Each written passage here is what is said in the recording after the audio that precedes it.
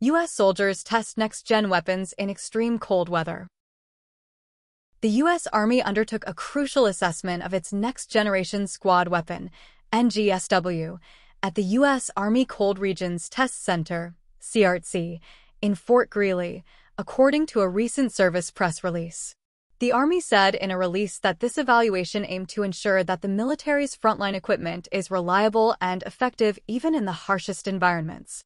The NGSW, represented by the XM7 and XM250, represents a significant evolution from the M4 rifle and M249 light machine gun.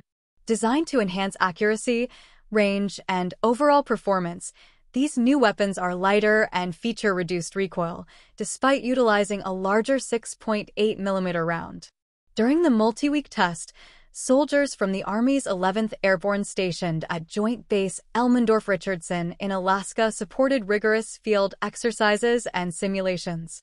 These activities included engagements at static and kinetic ranges, maneuver live fires, and a demanding 72-hour simulated mission across the expansive ranges of the CRTC. The extreme cold of the Alaskan winter provided an ideal testing ground, with temperatures plummeting to as low as minus 54 degrees Fahrenheit.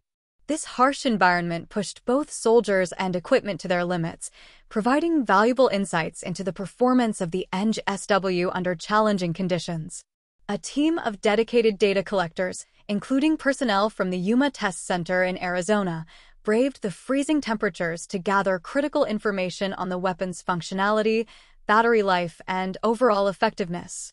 Despite the harsh conditions, the test yielded valuable data that will inform future decisions regarding the deployment of the NGSW.